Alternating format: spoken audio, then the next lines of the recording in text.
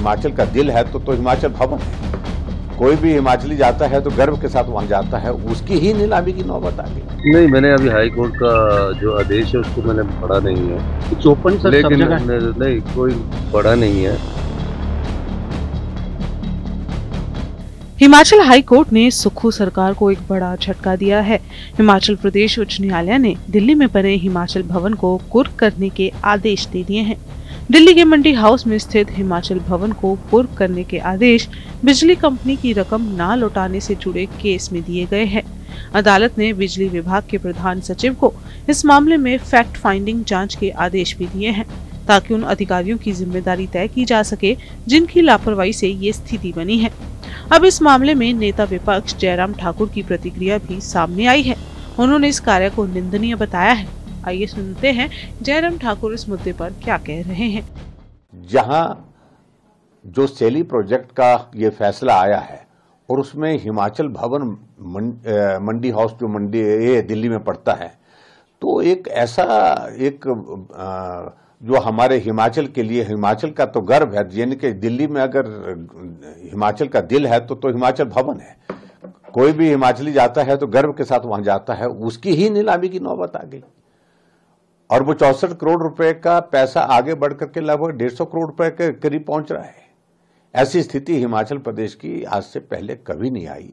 पहली बात, कोर्ट के मामलों को भी सरकार गंभीरता से नहीं ले रही है। और एक के बाद एक फैसले जो हिमाचल प्रदेश में जो हो रहे हैं, जिसके कारण सरकार की फजीयत होती जा रही है। आर्थिक तंगी का दौर है। इसमें, ये आज से नहीं, कई वर्षों से है। लेकिन इससे तो सचमुच में पूरा हिमाचल प्रदेश अब चिंतित है कि अगर हिमाचल भवन की नीलामी हो गई तो आने वाले समय में तो स्थिति ये आएगी, कहीं सचिवालय की नीलामी ना हो जाए।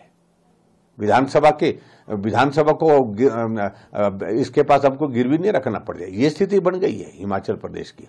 ये चिंता का विषय है। सरकार को गंभीरता से लेना चाहिए था और गंभीरता से नहीं लिया और इस सारे मामले को गंभीरता से वकील खड़े करके वहाँ पर प्रस्तुत करना चाहिए था, या फिर जो कंपनी है, उस कंपनी को बुला करके उनके साथ बात बात करनी चाहिए थी। रास्ते निकलते हैं जब बैठते हैं। ना वो किया, ना ये किया। आखिरकार हिमाचल प्रदेश के लिए बहुत दुखद खबर है कि दिल्ली में हिमाचल भवन जैसा एक प्रेस्टिजियस हमारा एक स्थान जो है, वो भवन जो ऐतिहासिक दृष्टि से भी हमारे लिए बहुत महत्व का है वो अटैच कर दिया, ये चिंता का विषय है।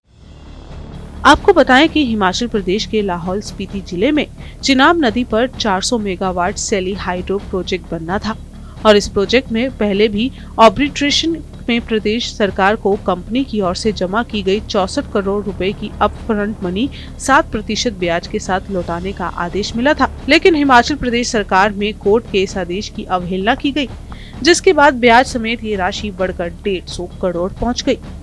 हिमाचल प्रदेश हाई कोर्ट ने 15 दिन के अंदर जाँच पूरी करने के लिए कहा। साथ ही इस रिपोर्ट की अगली तारीख को अदालत में पेश करने के लिए भी कहा गया है। इस मामले की अगली सुनवाई अब 6 दिसंबर को होनी है। अदालत का कहना है कि इस पूरे मामले में पता लगाया जाना ज़रूरी है क्योंकि फिर ब्याज के दोषी अधिकारी या अधिकारियों या कर्मचारियों से व्यक्तिगत रूप से वसूलने की आदेश दिए जाएँगे। इस पर सीएम सुक्खू की भी सफ़ाई सामने आई है। उनका इस मुद्दे पर क्या कहना है आइए आपको सुनाते हैं। नहीं मैंने अभी हाई कोर्ट का जो आदेश है उसको मैंने पढ़ा नहीं है। ओपन सर लेकिन नहीं, नहीं कोई पढ़ा नहीं है लेकिन अपफ्रंट प्रीमियम जो है वो एक पॉलिसी के तहत है। और एक पॉलिसी के तहत 2006 में जब ऊर्जा नीति बनी थी तो उसमें, उस ऊर्जा नीति में मैं भी मेन आर्किटेक्ट था मैडम स्टोक उस समय। ऊर्जा मिनिस्टर थे। तो अपफ्रंट प्रीमियम ये था कि कोई भी पावर प्रोजेक्ट लग जाए, लगे या ना लगे, उस पॉलिसी में क्लियर है। आप, हमने एक रिज़र्व प्राइस पर मेगावाट जैसे 10 लाख रिज़र्व प्राइस रखा था, उस पर उन कंपनियों ने बोली बोली थी। उस अपफ्रंट के मामले में आर्बिट्रेशन से कोई फैसला आया? अब आर्बिट्रेशन के भी कई ऐसे फैसले आ रहे हैं जो बड़े चिंताजनक है कानून की अनदेखी हो रही है। उसके खिलाफ हाई कोर्ट हमारी सरकार गई और सरकार ने उसमें जो चौंसठ करोड़ रुपए आर्बिट्रेशन का था वो जमा कराना था। उसके बारे में मैंने अभी जानकारी प्राप्त की है। मैंने कहा है कि आप मुझे बताइए क्योंकि और इस प्रकार के आदेश अगर आए तो उसके बारे में हम अध्ययन करेंगे। बता दें कि साल 2009 में सरकार ने कंपनी को 320 मेगावाट का बिजली प्रोजेक्ट आवंटित किया था और ये प्रोजेक्ट लाहौल स्पीति में लगाया जाना था। सरकार ने उस समय प्रोजेक्ट लगाने को बीआरओ को सड़क निर्माण का काम भी दिया था और समझौते के मुताबिक सरकार ने कंपनी को भी मूलभूत सुविधाएँ उपलब्ध करवानी थी ताकि कंपनी समय पर प्रोजेक्ट का काम शुरू कर सके। लेकिन ऐसा हो नहीं पाया। कंपनी ने साल 2017 में एक रिट याचिका दायर की और कंपनी ने कोर्ट को बताया कि सुविधा न मिलने की वजह से कंपनी को प्रोजेक्ट बंद करना पड़ा और ये प्रोजेक्ट वापस सरकार को दे दिया गया। इस पर सरकार ने अपफ्रंट प्रीमियम को जब्त कर लिया। सुनवाई के दौरान ही चौसठ करोड़ के अपफ्रंट प्रीमियम के भुगतान के आदेश जारी किए गए हैं। राज्य सरकार ने कोर्ट के फैसले के खिलाफ एलपीए भी तैयार कर दी है। अब देखना होगा कि दिल्ली में बने हिमाचल भवन की नीलामी होती है। या सुखू सरकारी से बचा लेगी।